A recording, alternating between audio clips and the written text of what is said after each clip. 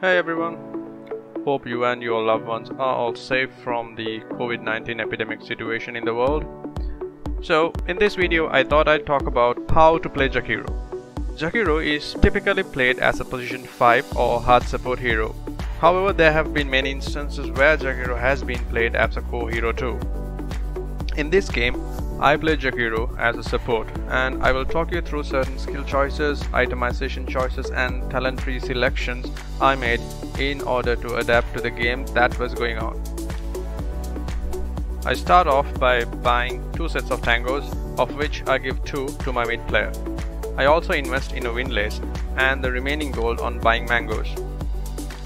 I make the decision to buy the windlace because I assumed I would be facing off a Tusk plus a Venge or Ancient Apparition.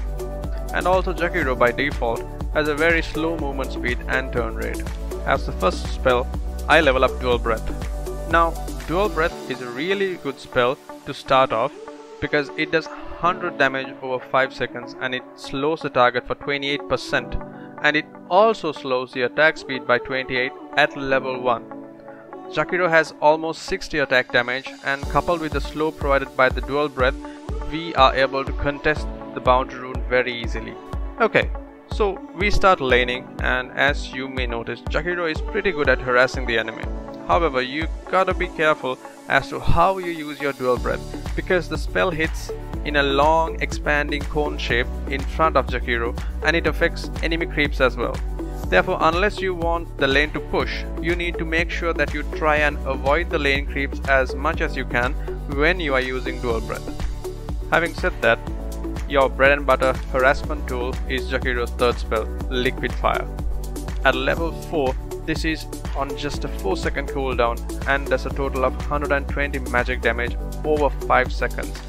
Not only that, it slows the attack speed of your targets by 60 at level 4 and guess what? It doesn't cost a single drop of mana.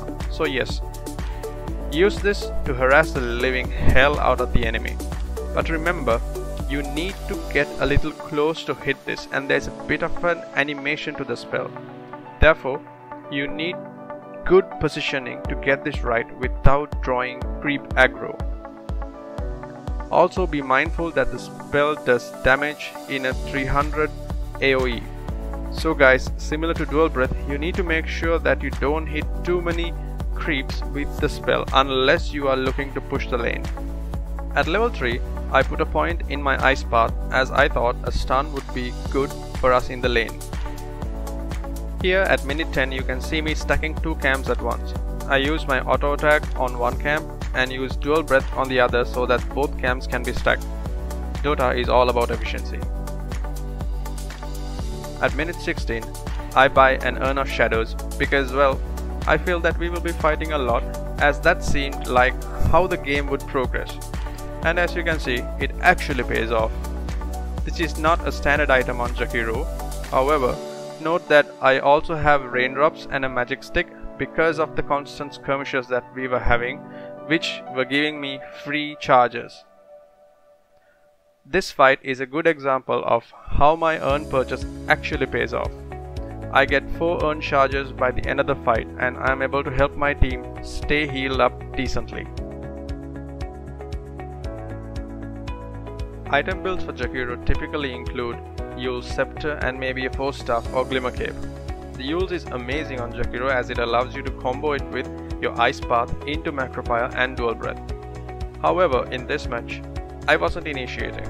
I had a Legion commander who would jump for the duel, a Treant Protector with an AoE stun, an Invoker who can tornado people and allow me to set up for an easy ice path or even a long duration stun by the DK. In this match, my job as a Jakiro was to sit at the back and use my spells to damage the enemy within the duration of our team's chain disables.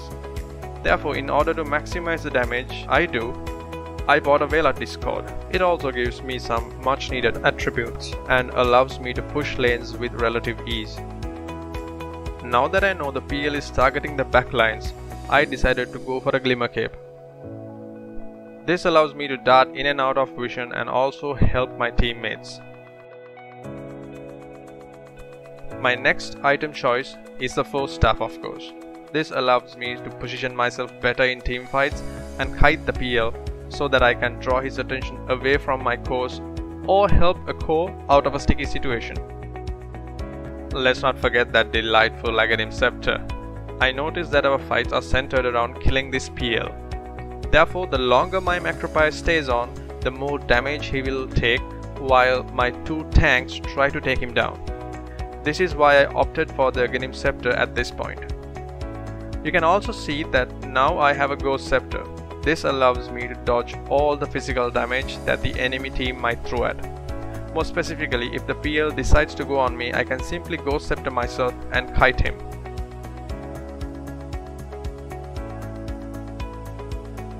Finally, I decide that I need to amp up my magic damage even more and I go for a Kaya which also decreases the amount of mana drained through the Diffusal Blade.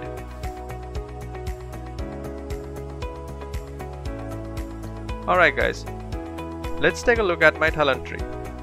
I've gone for the plus 8% magic amp because that synergizes a lot with all my spells, especially the Macropyre. I go for the plus 350 talent at level 15 simply because I feel the need to be alive in the team fights as much as possible as most of my spells have short cooldowns and the more spells I am able to cast down in a team fight the more chances I provide my team to win that particular team fight. I opt for the liquid fire minus 60 attack speed talent at level 20 as it will reduce the attack speed of all those PL illusions when they are bunched up together.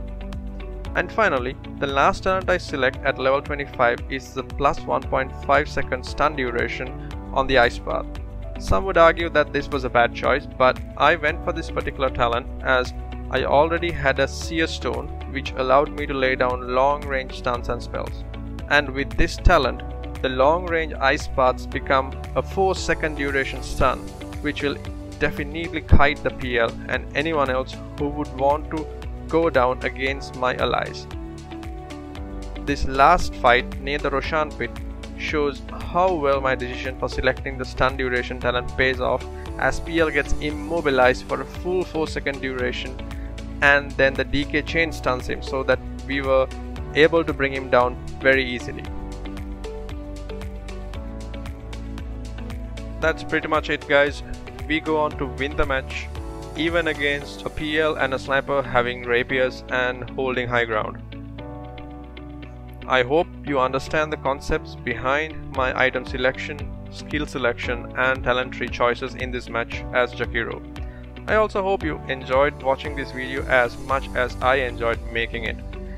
If you did enjoy it, please do not forget to leave a like on this video and subscribe to my YouTube channel for more awesome content. Until we meet again, it's GG, well played.